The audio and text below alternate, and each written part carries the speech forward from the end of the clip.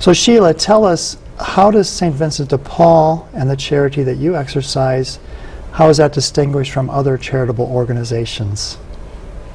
I think we're unique in several ways. One of them is that we are lay people. We are primarily volunteers. We do have some staff in some cities, but primarily we're volunteers. So we're just regular people in regular parishes who have been, we believe, called by God to do this work.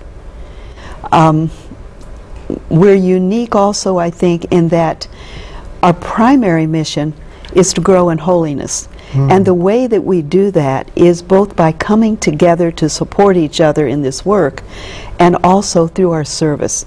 Because with our service, when we go into a home or we have direct contact, what we are always doing is looking to see the face of Christ in that person. Hmm. And sometimes that might be the face of Christ that is suffering. Sometimes that might be the, faith of the face of Christ mm-hmm. that is hopeful. We never know what face of Christ we're going to see. Right. But that's our challenge is to see Christ there present and then to respond to that, to try to do what Christ would do in that circumstance. And I think that's one of the things that makes us unique. Our home visits would be another thing.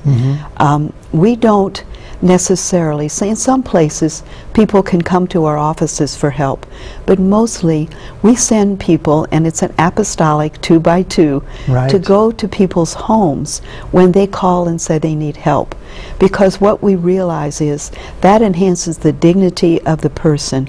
It takes away the desk that's between us mm-hmm. because these are friends and neighbors, not clients for us.